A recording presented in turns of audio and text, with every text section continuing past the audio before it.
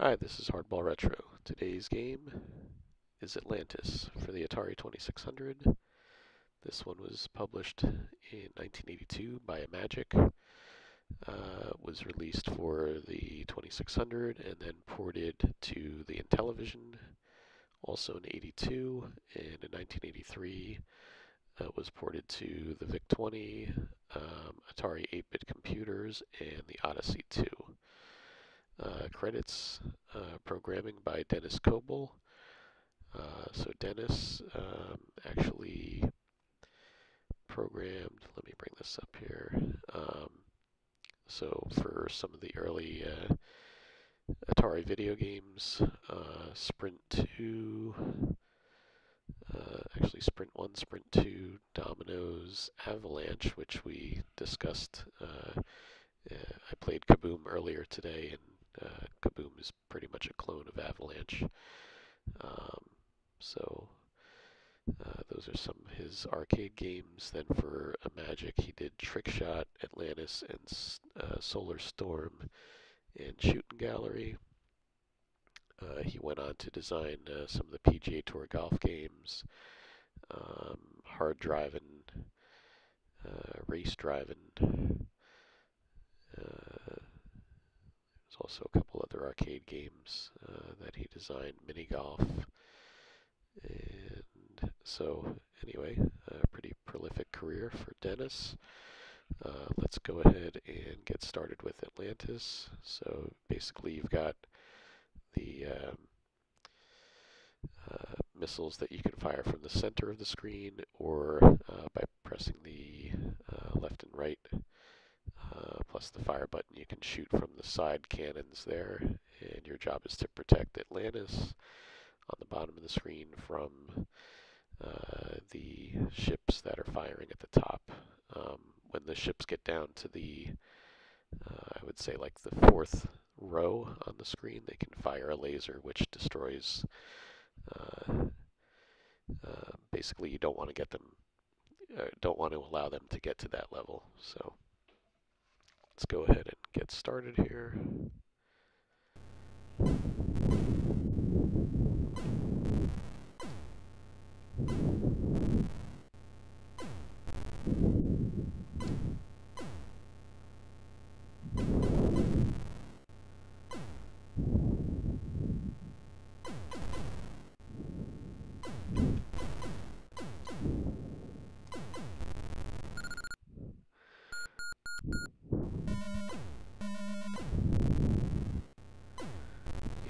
Cruising by. If you hit it, it destroys every other enemy on the screen.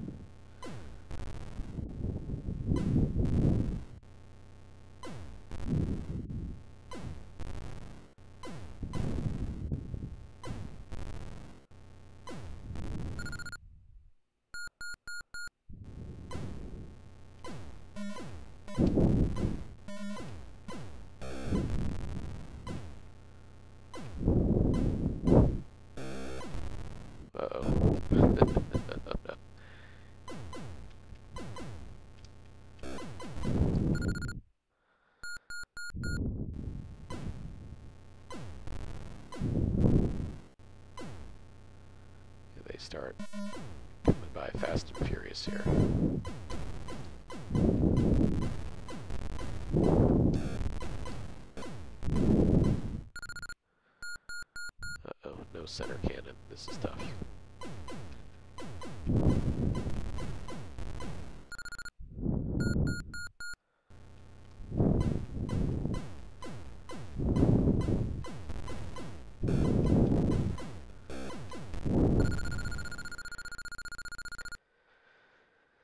Okay, well, that's game over. 17,300. Let's try again.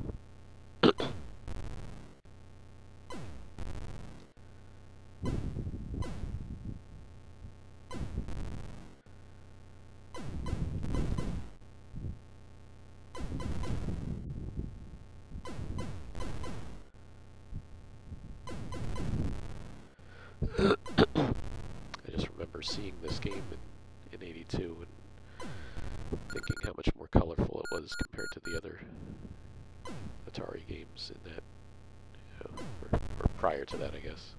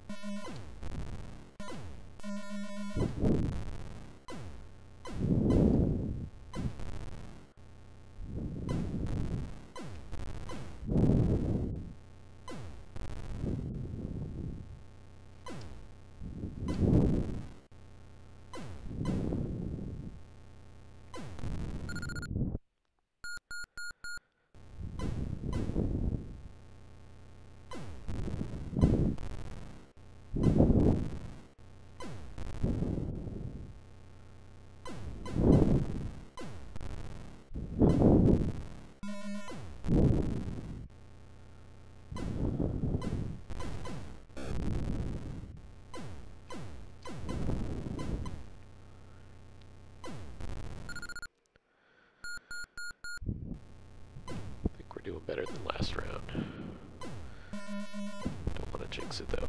Whoa. That thing was really flying. Yikes.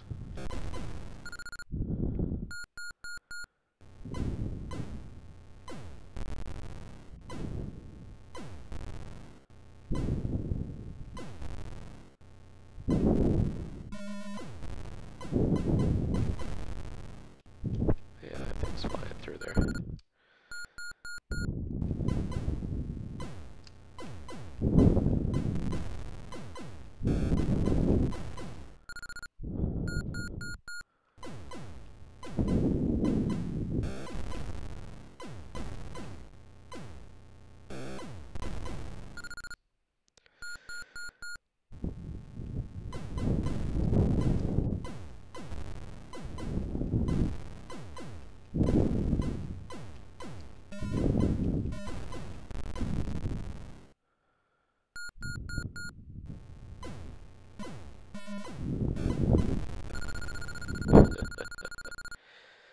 Alright, 31,700. One last one.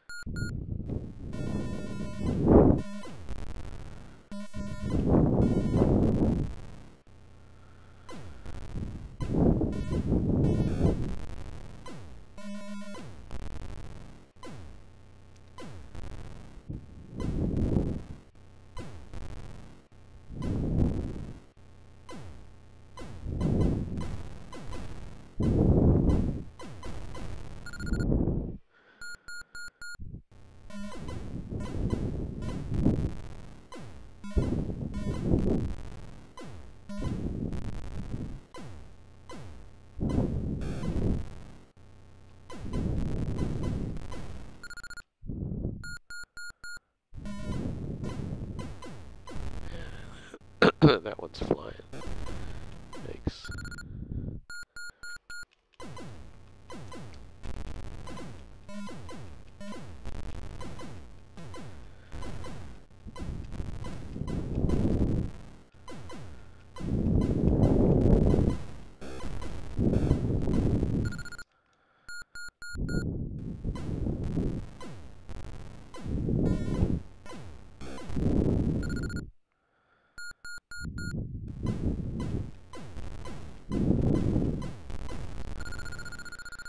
46,800. That might be my new high score. So anyway, uh, this is one of my, I would say this is in my top 10 for Atari 2600, and I, I really like the Intellivision one as well. It's got some other features, so it's not a direct port. Um, so check that one out. I'll be doing a video for that one at some point as well. Um, I mean, a lot of the Imagic games were uh, some of some of the top games on the 2600. So, uh, just as a general rule, um, there aren't aren't too many duds in their library. So uh, for now, um, just keep on retro gaming. Thanks for watching. Take care, and we'll see you soon.